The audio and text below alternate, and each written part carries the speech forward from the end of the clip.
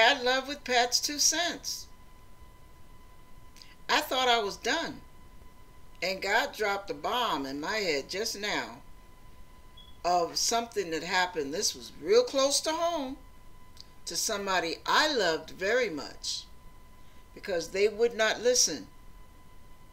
This is again lean not to your own understanding, but in all your ways acknowledge Him, and He will direct your path. Now, sometimes God speaks through people. And this was a warning my mother had. Now, my mother had that little sixth sense, so to speak.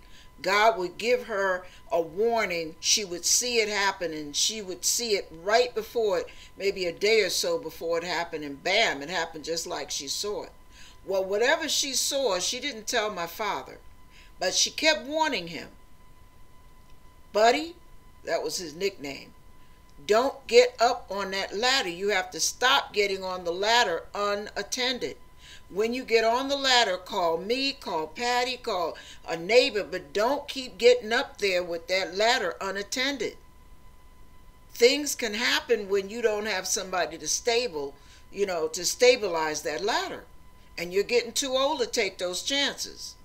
Now that's a warning that you may not want to hear because you've been self, you know, you know, self-reliant all your life. But things change as you get older.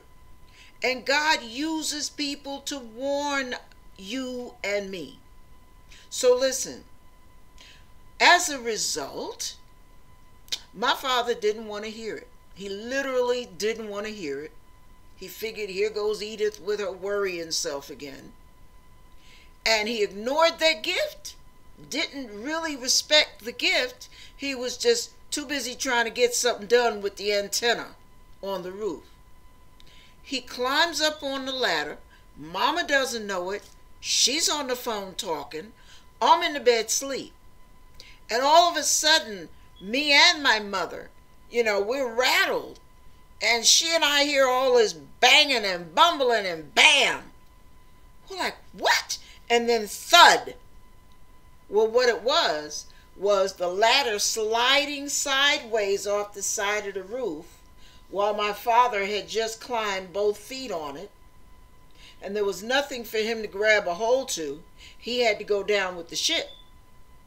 And as a result, when the ladder went down, then he went down and he hit the side of his head, cracked his skull. He had a skull fracture. He was bleeding out of his nose and his ear. My mother knew exactly what that meant. She told him to stay put. She told me to get a blanket. We covered him. She called 911. The ambulance came, took him straight to the hospital. He was in that hospital for weeks on end. They called the family in, thinking that my father was going to die. But God said no. Because I had a neighbor next door. Thank God for my neighbor. I used to refer to her as my annoying next door neighbor. Thank God for my neighbor.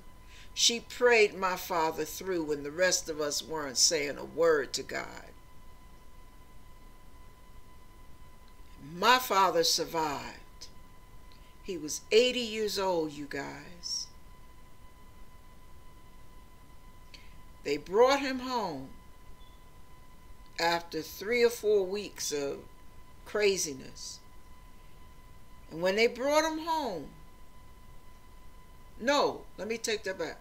Yeah, yeah, they brought him home. And he was really out of it. Really out of it for a while. I take that back. He was 79. Anyway, numbers don't matter, but he, he was up there. And uh, in great shape, great physical shape. This is what ended up happening. God took something bad and turned it around for my father's good. But what happened was he had to pay a price. His health went down.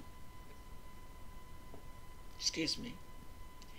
And as a result, it took him a long time to recover. He was never the same after that. He was able to walk and he was able to get around, but he was not quite the same. And then after about six months, his body went into overdrive and he ended up, his whole system went out of whack. And he had to be rushed to the hospital. Uh, he was acting really strange. His sugar was way up high. His blood pressure was way up high. I mean, he was just getting ready to blow a fuse. And we caught it in time.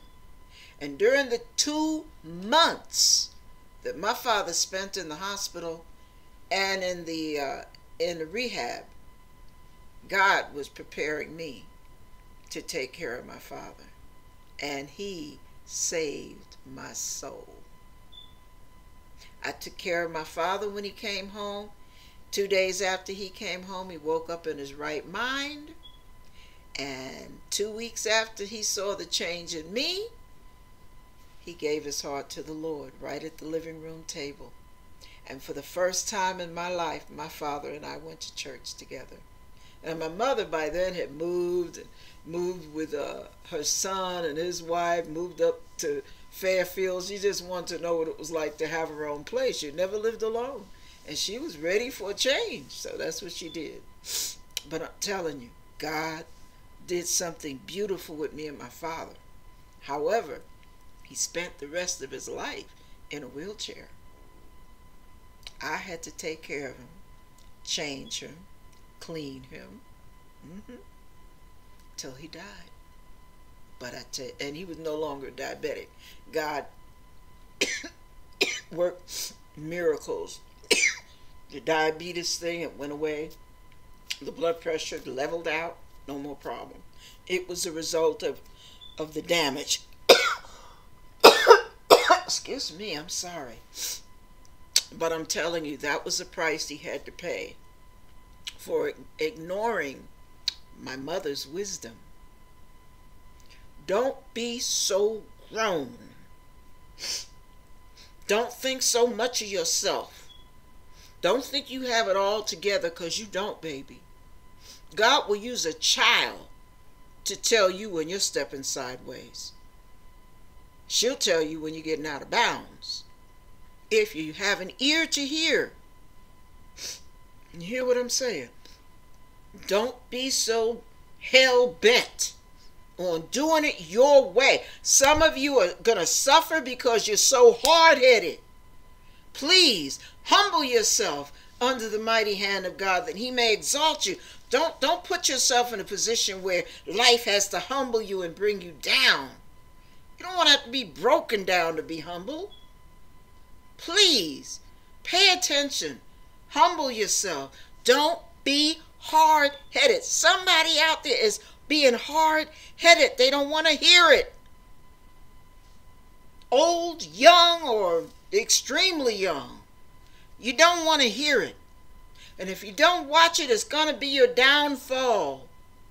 Then you'll be bitter and you'll be mad at the very people who advised you that you didn't listen to. But they're not the ones to be mad at. As Michael Jackson used to say, look at the man in the mirror, baby. That's the one you're to be angry with because you refuse to take instruction. You refuse to take heed to wisdom. Now, God is trying to stop you from getting seriously hurt.